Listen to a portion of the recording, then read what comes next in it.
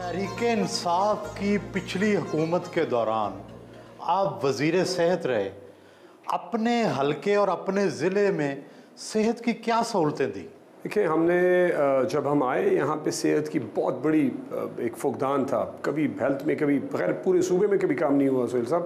تو یہاں پہ تو ڈیفینیٹلی نہیں ہوا تھا۔ تو جب ہم نے چارج لیا تو ہم نے medical college Gajju Khan medical college establish کروایا اور اسٹوڈنٹس بھی پڑھنا شروع ہو گئے۔ ڈی ایچ کیو ہاسپٹل کی ری رینویشن اور اس کی نئی بلڈنگ کھڑی کروائی۔ دو کیٹیگری ڈی ہاسپٹل بنائے دو کیٹیگری سی ایک سو دس ڈی اور سی سے کیا مراد ہے؟ ڈی میں اور سی میں بیڈ کا فرق ہوتا ہے۔ سی میں ایک سو دس بیڈ کے جو ہاسپٹلز ہوتے ہیں وہ دو بنوائے ہیں۔ ڈی جو ہیں وہ دو بنوائے۔ رورل ہیلتھ سینٹر جس میں آپ اس وقت کھڑے ہیں شوا میں اس طرح کے ہم نے چار بنائے۔ اور دو پہ ابھی بھی کنسٹرکشن جاری ہے اور دو جو بند تھے سات آٹھ سال سے اس کو فنکشنل کروایا۔ بیسیکلی اوور آل جو ڈاکٹرز کی اسٹرینتھ تھی، کوئی سکسٹی سیونٹی تھی جو ہماری تحریک انصاف کی حکومت کے آنے سے پہلے ثوابی میں۔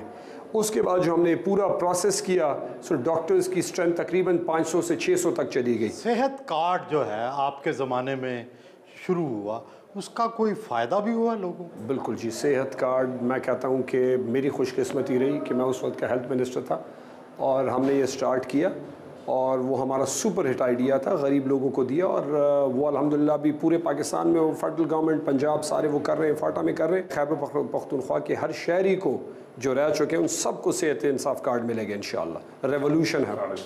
ساڑھے چھ لاکھ روپے سالانہ ایک فیملی کو جس میں آٹھ ممبرز ہوں گے ان پہ وہ علاج ہو سکتا ہے، اس پہ وہ ٹاپ اپ بھی کر سکتے ہیں۔